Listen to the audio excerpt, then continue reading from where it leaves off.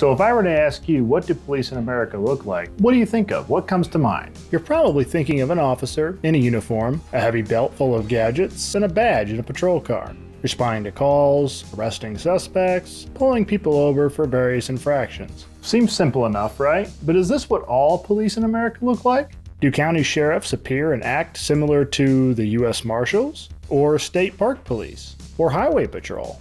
Not so much. Police officers work in a wide range of settings, and what they actually do depends on where they work and what type of agency they work for. Policing in a city is not going to be the same as in the country or in the suburbs. Police on college campuses don't have the same job as police working across the US border. And there are not just uniformed police, there are also police working. Why did you come under?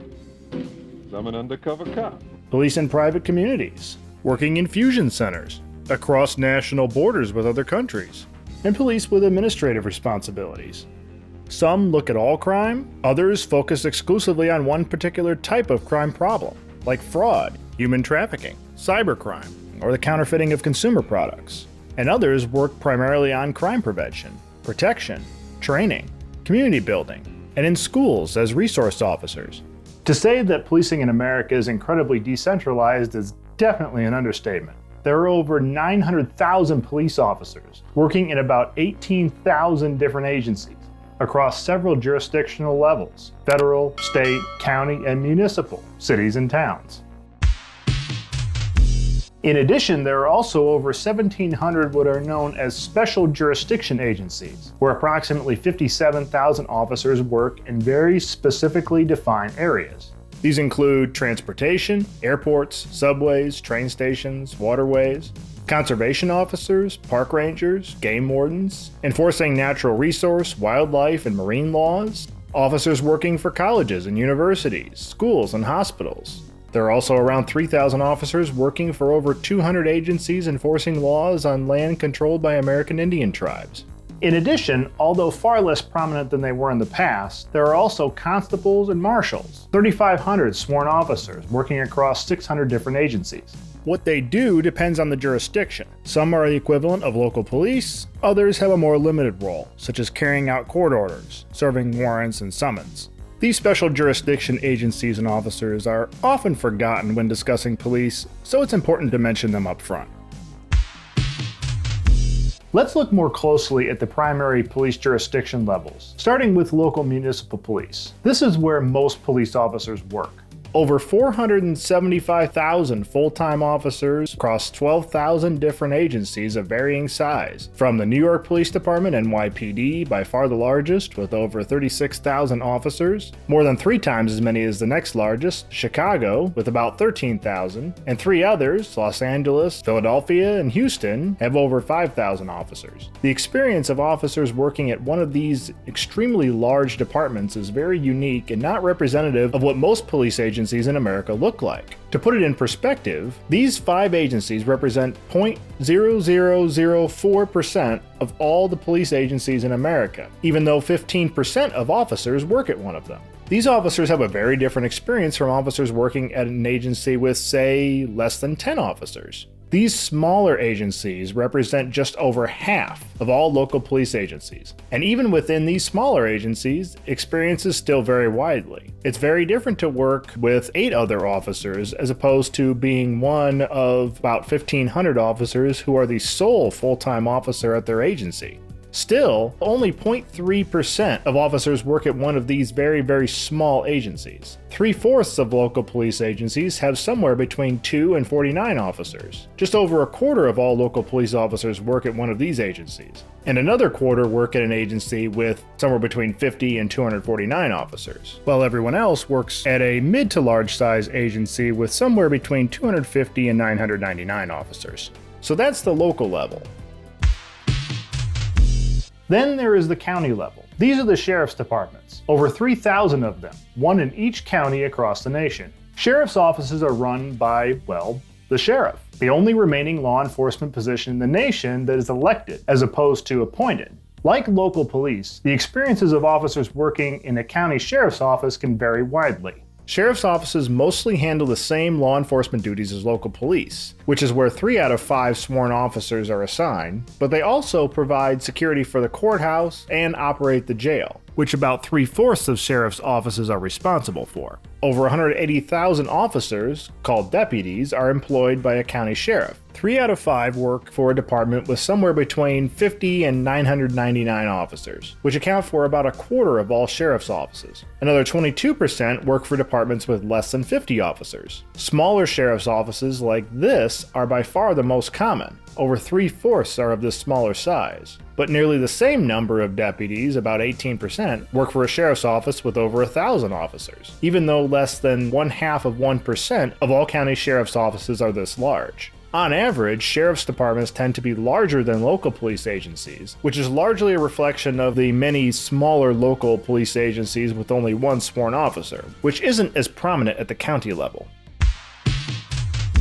When you call 911, it's most likely that a county sheriff or local police officer is who will respond. But depending on what state you live in, there's also a chance it could be a state police officer as well. Each of the 50 states have some type of police agency with jurisdiction across the entire state. About 60,000 officers, commonly referred to as troopers, work at one of these state agencies, the largest being in California with 7,000 troopers, and North Dakota, the smallest, with less than 200. But what they do, the scope of their authority, what they concentrate on, is very different depending on what type of agency the state has. Half the states have full state police agencies that look very much like a local police agency or county sheriff, but at the state level. If you call the police in a state with a state police, there's a chance that a state trooper could show up. The other half do not have a state police, but instead a highway patrol, which focus primarily on highway traffic enforcement and any criminal activity that occurs on or immediately adjacent to the highways. So they can venture out if it pertains to the scope of their responsibility to the highway system, but they aren't answering calls for service like a state police agency.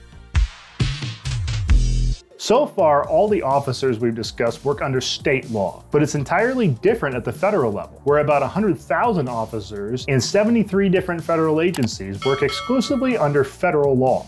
Many federal officers appear differently from their state and local counterparts and don't have the same roles and responsibilities, although there is certainly some overlap. The vast majority, about four out of five, are employed in two different federal departments the Department of Justice and the Department of Homeland Security. About one fourth of federal police officers work for the DOJ. The Federal Bureau of Investigation, FBI, is the largest and most well known agency with jurisdiction over 200 different federal crimes. The second largest is the U.S. Marshals Service, America's oldest law enforcement agency, first established in 1789. Each of the 94 federal court districts has a marshal, supported by about 4,000 deputy marshals, responsible for apprehending fugitives, protecting the federal courts and key government witnesses, and securing and transporting federal inmates. Then there is the Drug Enforcement Administration, DEA, focusing exclusively on the manufacturing and trafficking of illicit drugs, and the Bureau of Alcohol, Tobacco, and Firearms and Explosives, ATF, handling illegal firearms, bombings, and arsons.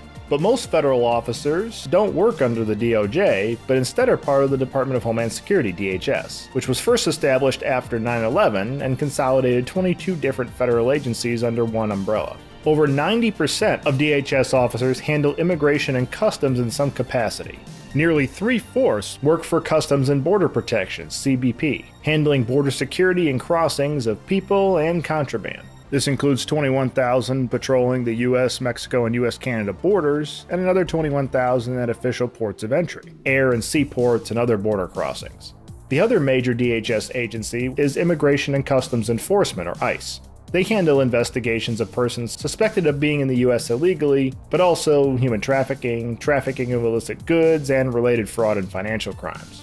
About 7,000 ICE agents are assigned to Homeland Security Investigations, HSI, the primary investigatory arm of DHS. Although not exactly equivalent, you could think of HSI as the FBI of Homeland Security. Then about 4,500 officers work for the Secret Service, which protects vital U.S. assets. Beginning with the counterfeiting of U.S. currency when it was first created in 1865, they are now most well known for providing security detail for key U.S. officials, including the President, Vice President, and their families. So then, where do the other federal officers work? Well, all over, and some places that might surprise you. There are officers working for conservation agencies, the forest, fish and wildlife, and national park services, officers protecting the legislative and judicial branches, the U.S. Capitol Police, and Supreme Court Police. Then there are officers working for the Bureaus of Diplomatic Security, Indian Affairs, and Land Management, the IRS, Internal Revenue Service, Veterans Health Administration, the Postal Service, the National Nuclear Security Administration, the EPA Environmental Protection Agency, the U.S. Mint, Amtrak, and I'm sure I'm missing some. So, what federal police officers do is quite diverse. And not included here are other federal officers who work for different branches of the US military, the CIA, Central Intelligence Agency, and other classified designations, like the Air Marshals.